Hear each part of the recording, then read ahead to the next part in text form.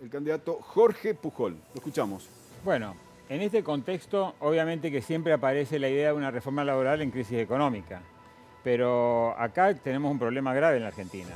En Buenos Aires parece que no entienden los economistas, entre comillas, que hay que emitir, emitir sin respaldo, hay que pedir deuda, nos están destruyendo la economía constantemente y acá en Mendoza no sabemos cómo organizar el futuro. ¿Qué futuro podemos organizar si no tenemos estabilidad ni proyección? No tenemos una moneda estable. Nosotros necesitamos una moneda estable. Los senadores por Mendoza tienen que ir a Buenos Aires a decirle, párenla, córtenla con esta joda de emitir sin respaldo, porque en definitiva los perjudicados somos nosotros y la crisis laboral es la consecuencia. Obviamente que acá te voy a mostrar un 931. Yo pago 931, este es mío. Yo soy de los que trabajo, eh, en esta mesa soy el único que vive en mi actividad privada, no soy de la política.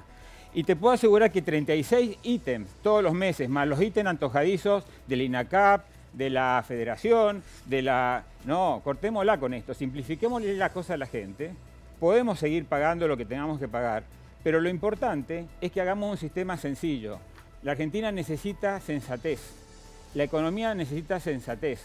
Tenemos que cortarla con esta crisis eterna donde los economistas, que yo le, sacaría el título a todos, no, no entienden que tenemos que tener una moneda estable, fuerte, dinámica, y Mendoza, como un país, como un Estado federal, le tiene que exigir a la nación que no pueden tocar más nuestra moneda.